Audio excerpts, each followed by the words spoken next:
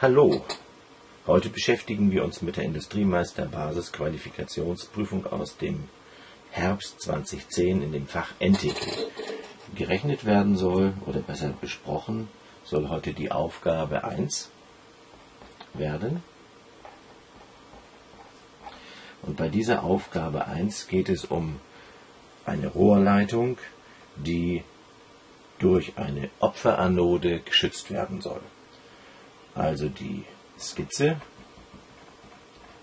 des Problems sieht eben so aus, dass wir einen Rohrmantel aus Eisen haben und dieser Rohrmantel aus Eisen wird über irgendeinen Draht mit einer Magnesiumanode verbunden.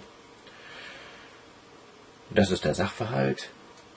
Alles befindet sich im Erdreich sodass hier also tatsächlich auch eine elektrisch leitende Verbindung vorliegt.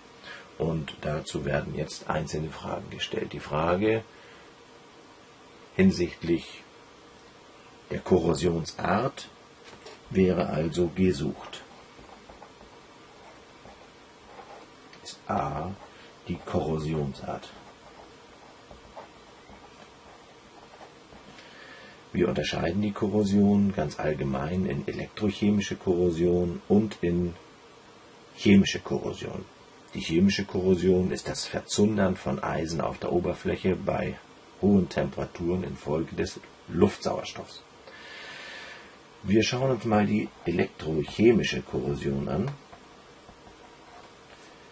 weil sie so wirklich wichtig ist und die Mehrzahl aller Korrosionsschäden verursacht. Zunächst stelle ich mir folgenden Sachverhalt vor. Unsere beiden Werkstoffe befinden sich in einem Behälter.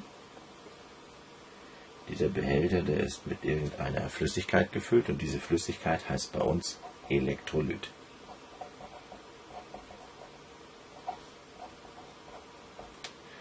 Ein Elektrolyt ist also ein elektrisch leitendes Material.